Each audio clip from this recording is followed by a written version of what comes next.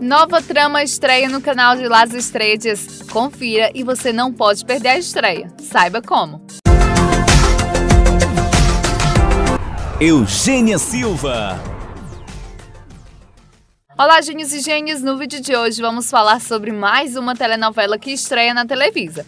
Após Irras de la Luna, que estreia dia 19 de fevereiro, a próxima telenovela será Tenia Esquecer Tu, produzida por Mapat. A telenovela será estreada dia 12 de março, substituindo Papá Toda Madre. Essa é uma adaptação da telenovela mexicana Tenia Esquecer Tu, produzida em 1992. A trama é protagonizada por Ariadne Dias e Andrés Palacios e antagonizada por Fernando Alonso, Chanta Manderi e Rosana Nájera. A trama também contará com o elenco Arturo Peniche, Agostinho Arana, Gretel Valdez, Paulo Morim e muitos outros atores já conhecidos pelo público brasileiro. A telenovela conta a história de Oswaldo Betran, um pai. Morre tragicamente em um acidente de carro, deixando sua família, sua viúva Dolores, sua filha mais velha Gabriela e o filho mais novo Vado, à mercê da pobreza e da fome. Ao longo do tempo, os três conseguem se dar bem sem muitas amenidades. Então, se você não quiser perder a estreia dessa telenovela, veja este vídeo que está aí na tela agora.